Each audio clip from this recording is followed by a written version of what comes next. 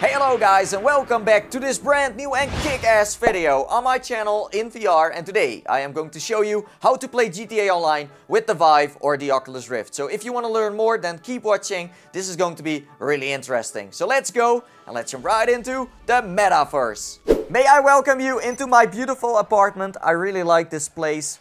I love to hang out here on GTA 5 Online. But we are not here to watch this funny television show. We are here to talk about how you play GTA 5 in VR and much more. And I can't wait to give you guys some uh, inside details on how you do it. So first of all, you need a nice computer. That's right, you need at least a 980 Ti to run this game on a proper frame rate when you play it in VR. And maybe a 1070 or a 1080 would be cool too. But they are not out yet, but maybe when you see this video in the future, you can actually buy that card. I would definitely go for that one because it is super duper fast. Gotta go fast, that's my motto. So that's something you really need. Don't try to play GTA 5 with a crappy computer in VR.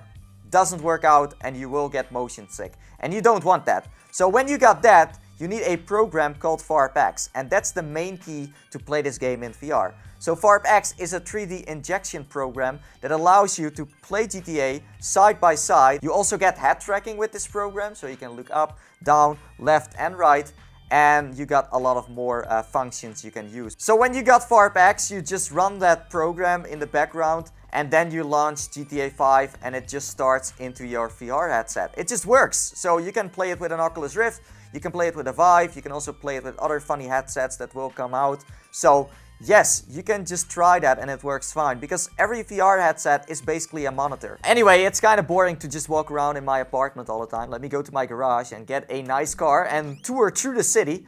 Let's spin those wheels, can't wait. Let's go into the elevator. Here we go.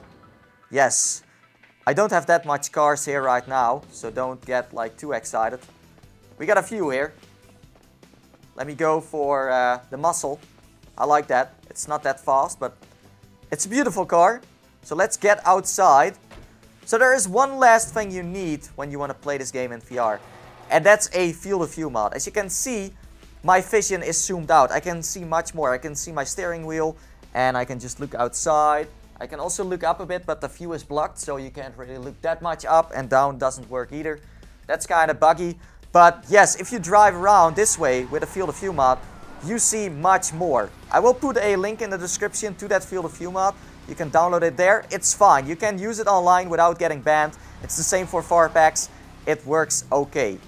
You are totally fine by using it. So yes, the field of view mod is in the description. As I said before, I would really recommend you to use that.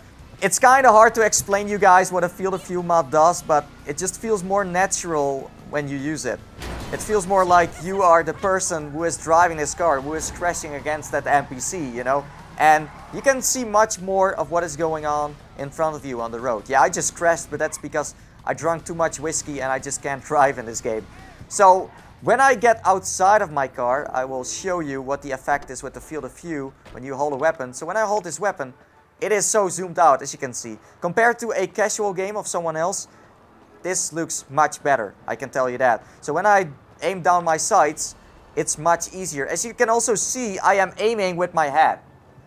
But you can also aim with your mouse, because my mouse and my head tracking are bound to each other. So when I would look around, I can correct myself by pulling my mouse. So to be honest, I use my mouse a lot in VR because if you play a uh, deathmatch, for example, in GTA 5, and you want to play that properly, I would go for a mouse. So you just shoot people with the mouse, and when you drive a car, like for example now, I would just look around. Don't look around with your mouse because that feels fake. Just do it with your head. So that's the main problem you have with VorpX and other programs. Your head tracking is bound to your mouse and your uh, headset. And that kind of sucks, I know, but there's no other way to play this game like that. There is positional tracking. There is actually a mod that you can use for that. It's called Grand Theft VR, and there will be a link in the description. If you use that, you can uh, like look outside of your window, peek around walls, stuff like that. But beware, that mod is not working at the moment because that guy didn't update it for a while and it's not working with the Vive. I tried it and my whole game was bugged out. So just wait for an update and then you can use that. So I have never tried that mod and I am not sure if it works. I did saw one video of it, so it is possible to play it with that. But that would be awesome, right? Just peek outside of your plane, for example, enjoy the uh, view, stuff like that. That would be awesome. But as I said before, haven't tried it, so I can't confirm it works. So another problem you have when you run this game with VorpX is that when you are playing it and you want to, for example, call a uh, car or a plane and you want to pick it up, you can't see where you are going because you can't see your map, you can't see your health bar or your ammo because VorpX zooms in your image. So there is a nice uh, feature for that. When I click on my scroll button, you can't really see it in the video right now, but the screen will zoom out and there will be a cinema mode then that allows me to look into the corners of my screen and then I can just uh, simply call for example a uh, plane here with Pegasus. Let's see if they are uh, not busy at the moment. Here we go. Hello, Pegasus yes. Lifestyle Management. How can I help you? So now I can just look into the left corner and get a Besra, for example. Great. The aircraft is waiting for you at our nearest airfield. We trust you'll be happy, sir. Thank you. So now I am in the cinema mode. I can also just uh, go to my map and uh, set a GPS. So a good thing is if you play this game a lot, you just know where the airport is. So you don't really need a GPS. But I will get a GPS now and we are at the airport. I know, that was super fast. Let me take this ramp, it's fun. Here we go. Whoa! Nice one. So this could make you really sick if you are not used to this. But for me, it's fine. I have been playing GTA 5 for 60 hours in VR now, and it is cool. So before we go into the plane, I want to give you one tip. When you customize a car, don't get these windows because you don't see that much when you play in VR that way. So yes, that is a quick tip. Also, don't wear sunglasses uh, in GTA because then this happens. Let me show you that. Let's go into my inventory and then go to this and let's see. We have to go to glasses. You can see that in your view like this. So now it's kind of orange. Uh, well, it depends what you like. If you like to wear glasses in GTA 5 and play it in VR like that, you can do that. So yeah, it's, it's a cool uh, Easter egg I really like. So let me go to my uh, no glasses again, none. Here we go. That's more like it. And now it's time to enter the Besra. What a beautiful plane. I love it. Let's get in there. This is an animation, by the way. You can't look around right now. It's like a cutscene. It's kind of strange, so don't try to look around that way. Makes you feel funny. I am also wearing a uh, helmet right now, as you can see. Like on the bottom, you see a part of it, and on the top, it's kind of strange to wear that, but it's fine. You can't really turn that off in GTA. So let me uh, go up. And here we go. I can actually hear the wheels going into the plane. You have to listen to the sound because you can't see it. This is like the best thing you can do in VR. Just fly over the city and enjoy the view. Seriously, it is great. So uh, let's make a little stunt here. This could make you sick as well. I am still fine. But maybe when I take off the headset, it could actually get me a little sick because when you go back into real life, you realize that this wasn't really real life at all, you know? Your brain got tricked. That's basically what I'm trying to say here. So anyway, let's go to my ship because I want to try a boat as well. So uh, let's go there. Oh, we are going to fly upside down. Fine. I can handle that. It's kind of confusing to fly like this. I can still see my map because I just switched into cinema mode, so we know where we are going. So now let's jump out of the plane. Here we go. And let's skydive. Whoa. And this is super high, I can tell you that. And you can't really look around that much. So let me get my parachute. Here we go. Rainbow parachute confirmed. Hipster. So let me land my parachute right here. Oh, this is going to be tricky. And we made it. What a hard landing. But we did it. Wow.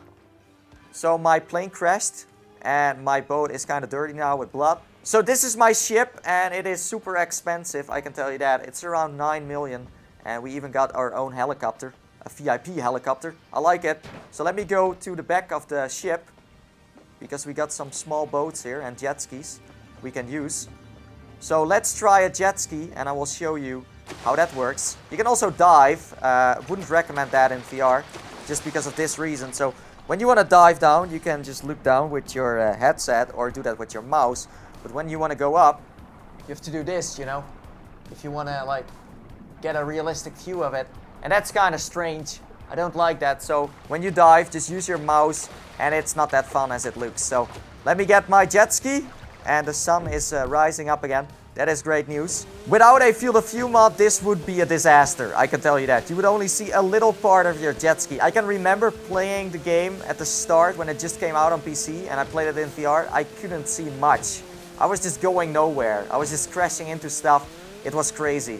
This is the best thing about GTA 5. Just like the graphics of this game. And it's an open world game. You can go wherever you want. And that's great. You can even play the single player and just go and play with Franklin or Trevor or Michael. You can do it. You can just live the dream of this game and that's cool. So this is my ship. It is so big. So let me uh, go back to the back. There we go. And I just uh, fell off my jet ski. Nice landing though. And now we are inside of my ship. And I can tell you, I got a bar. That's right. We can get drunk here. So let me show you that. I can hear a TV. Oh, my TV is on. Yes, my ship also has a TV. That's right. So here is a lady that can uh, offer us a drink. She sounds French. That's fine. Of course. So let's drink some. And this is just an animation. I am not looking around right now. It doesn't work. It's an animation. That could make you sick when you look around. So just sit still and don't move. That's why you see me not moving a lot when I play GTA 5 in VR. Because most of the time I'm just using my mouse. So if I, for example, want to walk through the left door here, I could do that with my head, like this. And if I want to walk through the other door, it's going to be a problem. Because look at this. Now I have to look this way. That's why I am not looking around that much when I play the game. I'm using my mouse. So there is one last thing I want to talk about before we go, and that's the performance on the game. So when you play this game on normal settings, in terms of graphics, you will hit around 85 FPS, that's right. And when you uh, play it on high settings, you will get around 75 FPS. So it isn't that bad, but I would just go for normal because you need all the frames to get like a nice experience. So yes, if you got any questions left, just let me know that in the comments below. And that's it for today. So let's jump to the outro and let's end this video. Let's go. So that's how you play GTA with the Vive or the Oculus Rift. And yes, hopefully you learned something from this video. I am not really into tech talking, but I hope it was, uh, well, useful. So yes, if you need more information, there is also a lot of stuff in the description. Go check it out. If you still got questions, just let me know them in the comments below. And that's it for now. And as I always say, and I see you guys next time. See you in the metaverse. Yes. I am really hyped for GTA 6 as well. Hopefully it will get like native VR support. Then we don't need all this stuff anymore.